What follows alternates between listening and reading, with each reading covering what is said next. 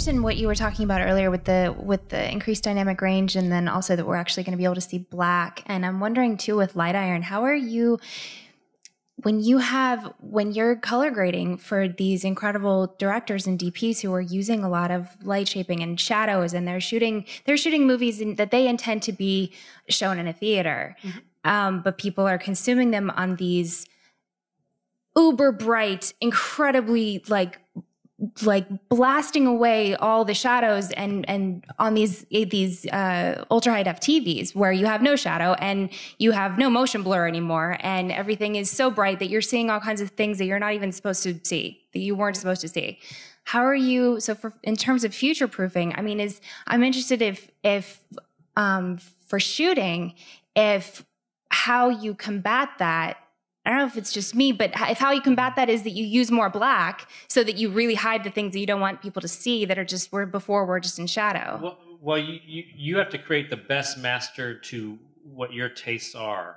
You you can't control all the hundreds of millions of TVs and how poorly they're set up. Yeah. What you can, you know, hopefully what, what, what will happen is that the manufacturers are building it like Dolby mm-hmm. Vision, their their high dynamic range system is one that if you have a Dolby chip, then in theory that it is delivering to that monitor what that monitor should display.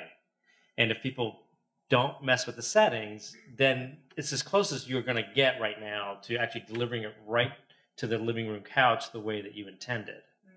Mm. Um, but um, you should never compromise on the front end. You want to you want to build the highest quality master you can. And right now, I mean, uh, you know, the, the, these cameras are capturing a lot of detail and you're just managing how much you're letting through. With with HDR, what you're doing is you're you're getting just a higher level of control to do that. And when you get the wide color gamut, you you have more range to be able to mm-hmm. change things if you want to.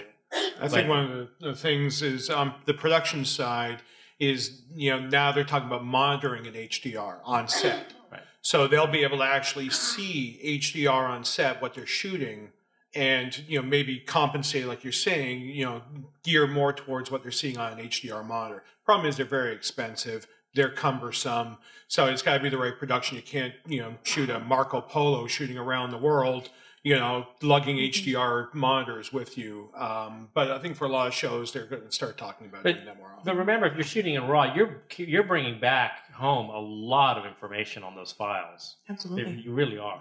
It's just interesting in terms of finishing because, like, so the other day I was in a Best Buy and I caught part of Iron Man and I saw things that you were we were not supposed to see. That we were not meant to see when when well, Iron Man was was finished. You know, and I'm wondering. So in terms of for future proofing and when you guys are color grading projects, like how how are you? We actually used to have a room um, at our facility in Light Iron that we jokingly called the Best Buy room, um, and it was full of all of these uh, different uh, different televisions, different manufacturers, uh, different you know sizes, makes, models, uh, and we would pass through content uh, for our filmmakers when they're in DI, so you can kind of see this worst world situation. And some people would cry, some people would laugh, some people would run out screaming. Um, but it was it, it, to Peter's point, the the best thing that you can do is don't make a compromise for what various consumer displays are going to see. Once it's out in the world, you can't yeah. control it. Right. Yeah, and, and you're you're you're coaching in terms of future proofing. That's not a future proofing issue. That's an issue of, of how it gets displayed. I mean, you know, you, you want to go go get a VHS of Star Wars. You'll see every matte line in that movie. You know, it's it, and with digital files, I think that that kind of thing will happen less and less and less. But the fact that somebody's going to go out there and crank up, you know, the, the, the brightness of the picture and then turn up the left channel and turn the right channel off. I mean, we can't help everybody.